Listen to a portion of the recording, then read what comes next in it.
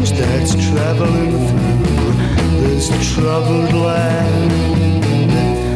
A wind of change moving through this restless human sand.